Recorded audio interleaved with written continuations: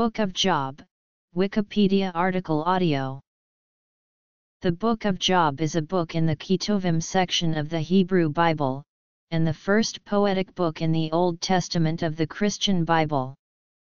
Addressing the problem of theodicy the vindication of the justice of God in the light of humanity's suffering it is a rich theological work setting out a variety of perspectives.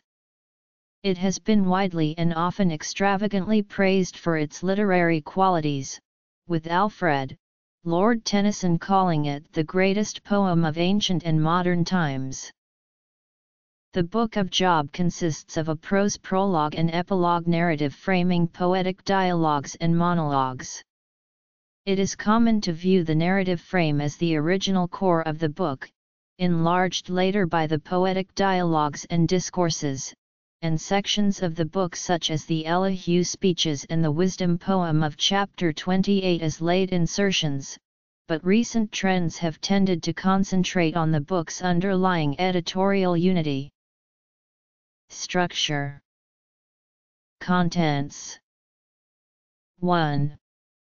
Prologue in two scenes, the first on earth, the second in heaven. 2.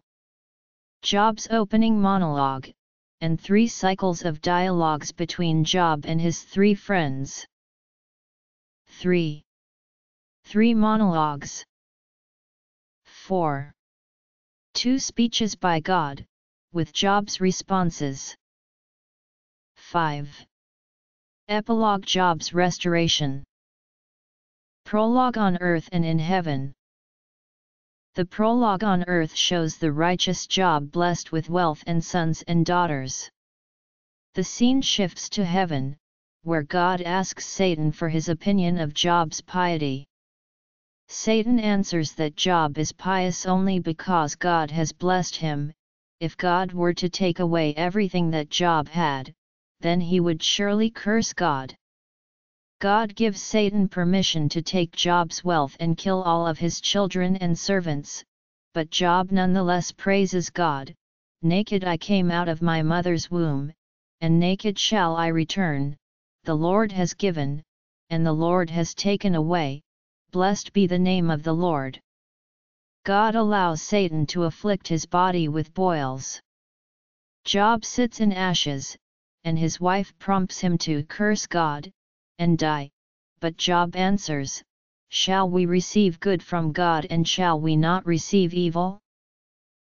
Job laments the day of his birth, he would like to die, but even that is denied to him. His three friends Eliphaz the Temanite, Bildad the Shuhite and Zophar the Naamathite, console him. The friends do not waver in their belief that Job's suffering is a punishment for sin, for God causes no one to suffer innocently, and they advise him to repent and seek God's mercy.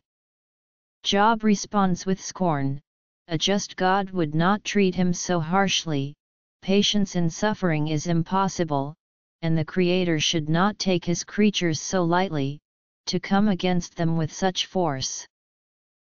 Job's opening monologue and dialogues between Job and his three friends. The dialogues of Job and his friends are followed by a poem on the inaccessibility of wisdom, where is wisdom to be found?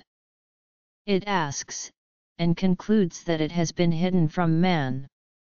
Job contrasts his previous fortune with his present plight, an outcast, mocked and in pain. He protests his innocence, lists the principles he has lived by, and demands that God answer him. Elihu intervenes to state that wisdom comes from God, who reveals it through dreams and visions to those who will then declare their knowledge. God speaks from a whirlwind. His speeches neither explain Job's suffering, nor defend divine justice, nor enter into the courtroom confrontation that Job has demanded, nor respond to his oath of innocence. Instead they contrast Job's weakness with divine wisdom and omnipotence, where were you when I laid the foundations of the earth? Job makes a brief response, but God's monologue resumes, never addressing Job directly. In 42 16 Job makes his final response, confessing God's power and his own lack of knowledge of things beyond me which I did not know.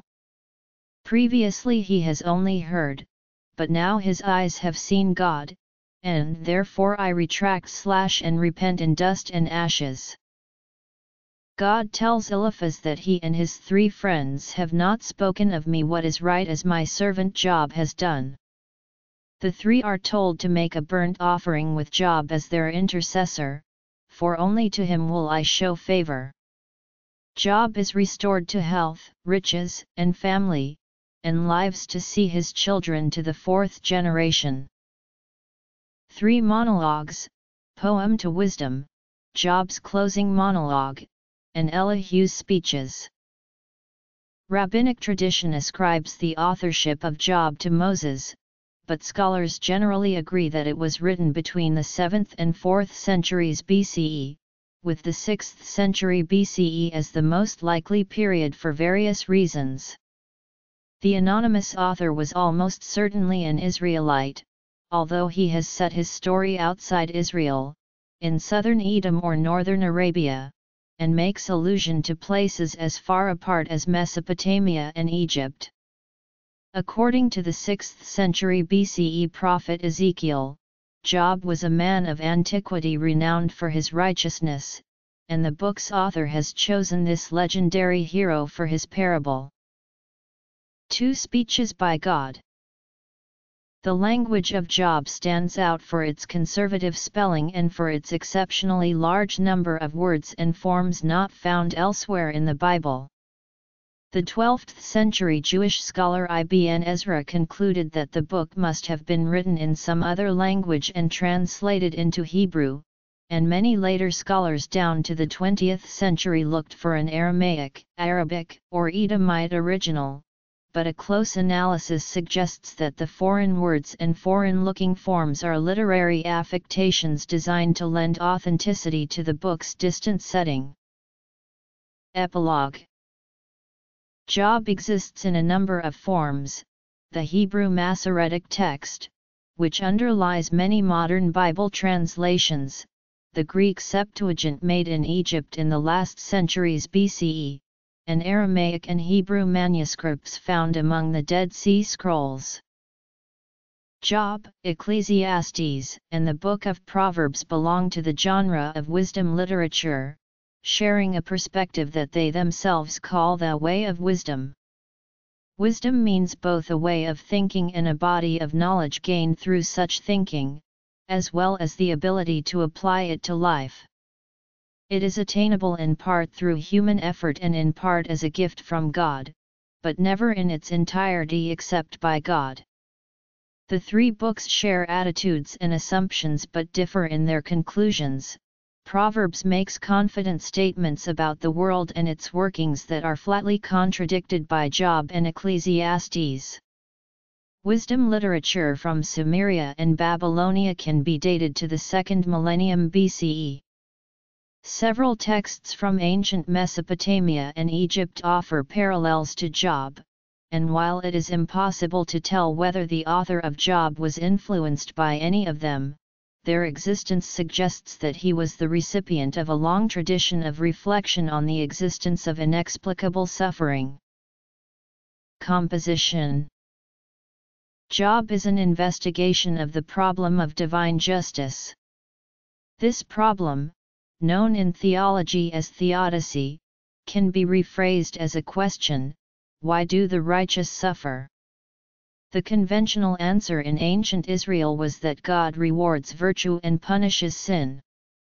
This assumes a world in which human choices and actions are morally significant, but experience demonstrates that suffering is frequently unmerited. The biblical concept of righteousness was rooted in the covenant-making God who had ordered creation for communal well-being, and the righteous were those who invested in the community, showing special concern for the poor and needy. Their antithesis were the wicked, who were selfish and greedy. Satan raises the question of whether there is such a thing as disinterested righteousness, if God rewards righteousness with prosperity, will men not act righteously from selfish motives? He asks God to test this by removing the prosperity of Job, the most righteous of all God's servants. The book begins with the frame narrative, giving the reader an omniscient God's eye perspective which introduces Job as a man of exemplary faith and piety, blameless and upright, who fears God and shuns evil. God is seen initiating the discussion with Satan and approving Job's suffering, a device which serves three purposes the usual explanations for suffering, that the sufferer has committed some sin of which he is unaware or that God's actions are inscrutable, are eliminated, it makes clear that it is not Job who is on trial, but God's policy of retribution, and the reader sees that God himself bears responsibility for Job's suffering. The contrast between the frame and the poetic dialogues and monologues, in which Job never learns of the opening scenes in heaven or of the reason for his suffering, creates a sense of contradictory juxtaposition between the divine and human views of Job's suffering. In the poetic dialogues Job's friends see his suffering and assume he must be guilty, since God is just. Job, knowing he is innocent, concludes that God must be unjust. He retains his piety throughout the story, but makes clear from his first speech that he agrees with his friends that God should and does reward righteousness. Elihu rejects the arguments of both parties, Job is wrong to accuse God of injustice, as God is greater than human beings, and nor are the friends correct, for suffering, far from being a punishment, may rescue the afflicted from their affliction and make them more amenable to revelation literally, open their ears. Chapter 28, The Hymn to Wisdom, introduces another theme, Divine Wisdom. The hymn does not place any emphasis on retributive justice, stressing instead the inaccessibility of wisdom. Wisdom cannot be invented or purchased, it says, God alone knows the meaning of the world, and he grants it only to those who live in reverence before him. God possesses wisdom because he grasps the complexities of the world a theme which looks forward to God's speech in chapters 38-41 with its repeated refrain Where were you when? Authorship, Language, Texts when God finally speaks he neither explains the reason for Job's suffering nor defends his justice. The first speech focuses on his role in maintaining order in the universe, the list of things that God does and Job cannot do demonstrates divine wisdom because order is the heart of wisdom. Job then confesses his lack of wisdom, meaning his lack of understanding of the workings of the cosmos and of the ability to maintain it. The second speech concerns God's role in controlling Behemoth and Leviathan, sometimes translated as the hippopotamus and crocodile, but more probably representing primeval cosmic creatures, in either case demonstrating God's wisdom and power. Job's reply to God's final speech is longer than his first and more complicated. The usual view is that he admits to being wrong to challenge God and now repents in dust and ashes, but the Hebrew is difficult, and an alternative understanding is that Job says he was wrong to repent and mourn and does not retract any of his arguments. In the concluding part of the frame narrative God restores and increases his prosperity, indicating that the divine policy on retributive justice remains unchanged.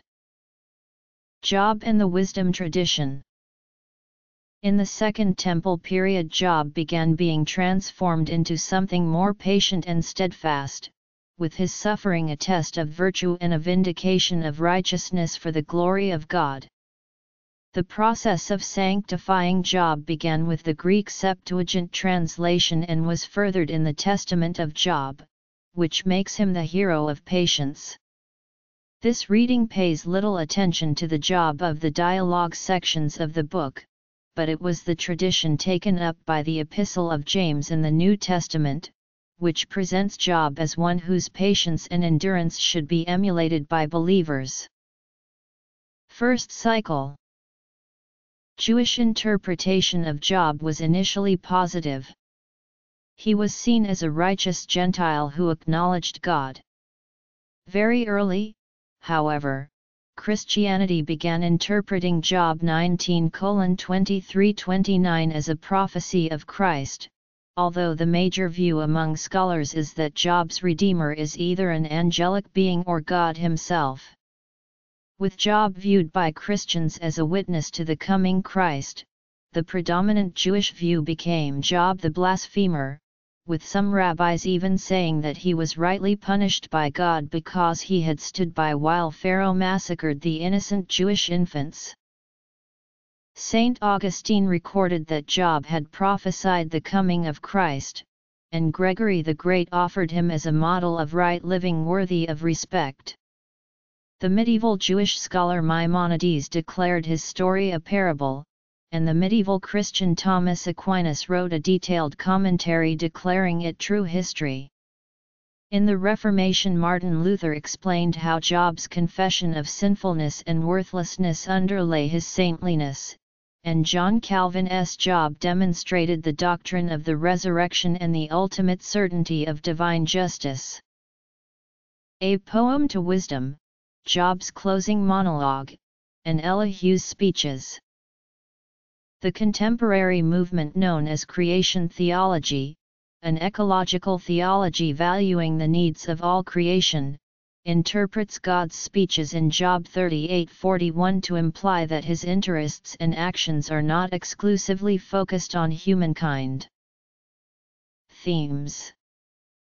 Later interpretation and influence.